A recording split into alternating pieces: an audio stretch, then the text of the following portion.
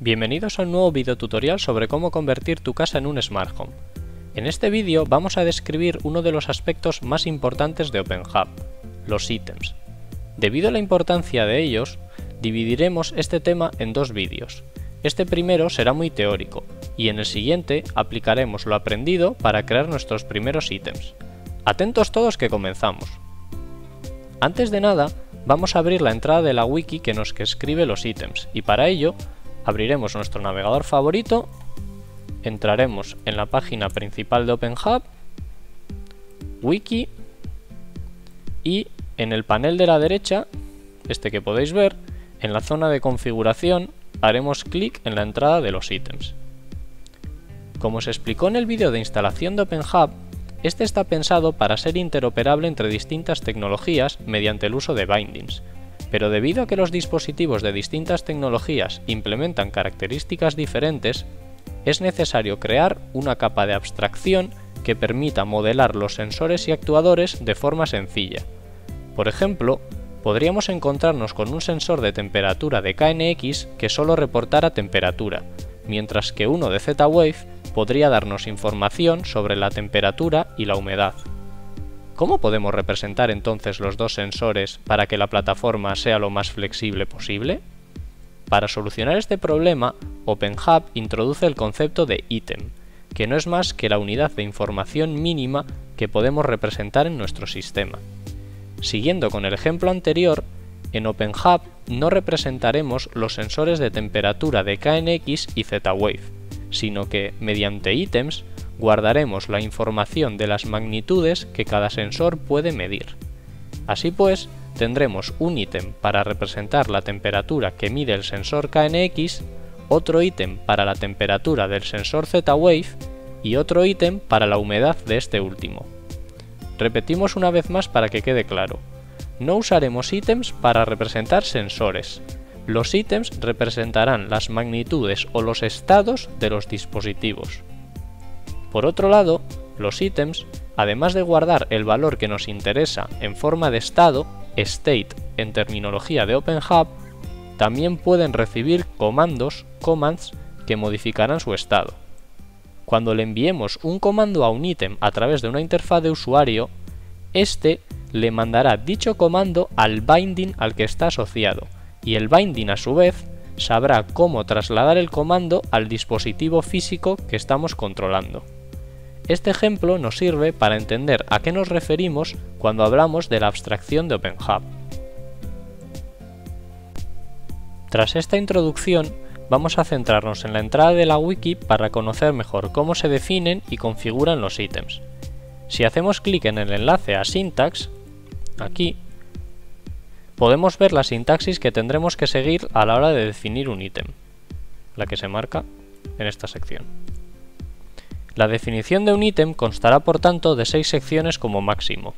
Su tipo, el item type, su nombre, el item name, su label, el label text, que irá siempre entre comillas, su icono, el icon name, que irá siempre entre los símbolos de mayor y menor, los grupos a los que pertenece, group 1, group 2, group 3, etc., que irán siempre entre paréntesis, y a qué binding está asociado. Esta parte, la del binding config, que irá siempre entre llaves. De entre todos ellos, los únicos que son necesarios son los dos primeros, el tipo de ítem y su nombre, ya que el resto son solo parámetros opcionales. Justo debajo de syntax tenemos un ejemplo en el apartado Real Life Example, este ejemplo de aquí podéis echarle un vistazo para ver la pinta que tiene la definición de un ítem. Pero por ahora no vamos a analizarlo en profundidad porque vamos a describir detalladamente cada parámetro. Comencemos pues por el tipo de un ítem, el item type. Como hemos dicho antes, los ítems no modelan dispositivos directamente, sino que representan las magnitudes, estados o funciones de los mismos, y para ello OpenHub tiene una serie de tipos predefinidos. En la tabla de la sección Item Type, esta tabla de aquí, podemos ver los nombres de estos tipos, una pequeña descripción, el estado que pueden almacenar y los comandos que pueden recibir. Los tipos que más emplearemos en nuestro caso serán el switch para modelar el on-off de los dispositivos y el tipo number para guardar los datos de temperatura, humedad, luminosidad, potencia, etc. Pero podéis ver que tenemos ítems para representar colores, fechas, dimmers, posiciones, persianas, cadenas de caracteres y otros. Un tipo especial de ítems son los groups, que como su nombre indica servirán para representar agrupaciones de ítems. La sintaxis de un grupo es igual a la de un ítem, solo que delante del ítem type pondremos la palabra group, como se ve aquí. Group, dos puntos, item type. Juntar ítems en, varios, en grupos puede ser interesante por varios motivos. Por un lado, podremos hacer uso del grupo en las interfaces de usuario si queremos mostrar muchos ítems sin tener que definirlos de uno en uno. Por otro lado, podremos enviar un comando a muchos ítems a la vez enviando el comando al grupo. Y por último, mediante el uso de las funciones min, max, average, none, nor, and, que veis en esta tabla, podremos representar de forma sencilla información compleja sobre varios ítems. Podríamos, por ejemplo, saber cuál es la temperatura mínima de una casa creando el grupo temperaturas, asignándole la función min al grupo y metiendo todos nuestros ítems de temperatura dentro de ese grupo. Pasemos ahora a describir el parámetro ItemName. El nombre del ítem, que tendrá que ser único, identificará al ítem en el resto de secciones de OpenHub, Persistence, las interfaces de usuario y las reglas. Solo puede contener letras, números o el símbolo barra baja, y es muy importante definir un patrón a la hora de nombrar los ítems para que no haya confusiones cuando el sistema aumente de tamaño. El label del ítem, en cambio, label text, es la cadena de texto que se mostrará en las interfaces de usuario cuando queramos representar un ítem. Podríamos decir, por tanto, que es una especie de descripción del mismo. Además de la pequeña descripción, en el label podremos dejar un hueco donde irá escrito el estado del ítem, y vendrá definido entre corchetes. Tan y como podemos ver en la wiki, el contenido entre corchetes tendrá un formato, formatting, que podremos definir a nuestro gusto. Para entender mejor qué es el formatting, vamos a poner un ejemplo. Supongamos que tenemos un ítem llamado temperatura barra baja dormitorio y que este ítem está unido a un sensor de temperatura Z-Wave. El sensor de temperatura nos da el valor de temperatura con dos decimales, pero nosotros queremos que en nuestra interfaz de usuario se muestre solo la parte entera del valor. Para conseguir esto, será suficiente con definir el label del ítem mediante temperatura dormitorio y entre corchetes porcentaje de y grados centígrados, donde porcentaje de es el formatting y significa número entero. Aquí abajo podéis ver un ejemplo bastante similar, aunque en nuestro caso escribiríamos temperatura dormitorio y aquí entre los corchetes en vez de poner porcentaje punto f pondríamos porcentaje de.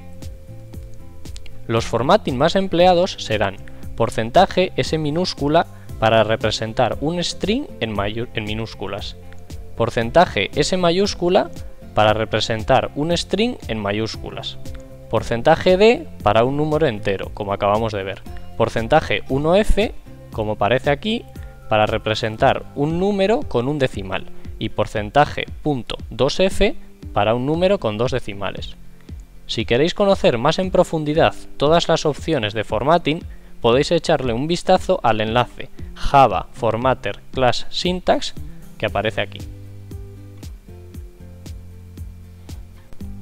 Siguiendo con la sintaxis, el siguiente apartado a analizar es el icono del ítem, el icon name. OpenHub viene con una serie de iconos por defecto que podemos encontrar en la ruta USR Share OpenHub Web Apps Images, si hemos seguido el manual de instalación mediante apt-get, aunque si queremos usar los nuestros propios, bastará con copiar nuestras imágenes .png a esta carpeta tal y como nos dice la wiki en esta frase. A la hora de asignar un icono a un ítem, bastará con poner el nombre de la imagen sin la extensión entre los símbolos de menor y mayor, justo después del label, como vimos al inicio de este vídeo. Pasemos ahora a hablar nuevamente de los groups. Como ya hemos dicho al definir el tipo group, los ítems pueden agruparse asignándoles grupos a los que pertenecer. Un ítem puede pertenecer a ninguno o varios grupos, y la forma de decir que forman parte de uno es escribir el nombre del grupo entre paréntesis. Si queremos asignar nuestro ítem a más de un grupo, como se ve aquí, bastará con escribir ambos separados por una coma dentro del paréntesis. Evidentemente, para que un ítem sea parte de un grupo, es necesario que hayamos definido previamente el grupo como un ítem. Y tened en cuenta también que los grupos pueden formar parte a su vez de otros grupos. Para acabar, el último apartado del que puede constar un ítem es el de la configuración del binding, el binding config. Como se lee en el primer párrafo de la entrada de la wiki, este apartado es uno de los más importantes, ya que define quién le va a dar el estado al ítem y a quién le va a tener que pasar los comandos el propio ítem. La definición de este apartado siempre va entre llaves, como podéis ver aquí, y la sintaxis tiene siempre la misma forma. Primero pondremos el nombre del binding, luego el símbolo igual, y después, entre comillas, la sintaxis que haya definido cada binding. No hay una regla que determine que hay que escribir entre las comillas, así que cuando queramos definir un ítem unido a un binding, lo que tendremos que hacer será ir a la entrada de la wiki para el binding y ver cuál es la sintaxis que hay que seguir. Generalmente, en la descripción de cada binding podremos ver ejemplos concretos, así que bastará con copiar, pegar y adaptar a nuestras necesidades. Si queréis ver ejemplos prácticos, en la página de Moodle tenéis un enlace a los ítems que tenemos configurados en Technica. También podéis ver más ejemplos en el foro de OpenHub, en los ficheros de demo de OpenHub o en la entrada de cada binding en la wiki. Y con esto terminamos el primero de los vídeos dedicados a los ítems. Sé que el vídeo ha sido muy teórico, pero espero que hayáis podido llegar hasta el final y tengáis claro qué es un ítem, para qué sirven y cómo se deben definir. En el siguiente vídeo crearemos nuestro primer ítem asociado al wallplug de Fibaro, así que ya queda menos para que podamos controlar nuestros elementos desde OpenHub. Para cualquier duda, nos tenéis a vuestra disposición en el foro de Moodle. Un saludo y hasta pronto.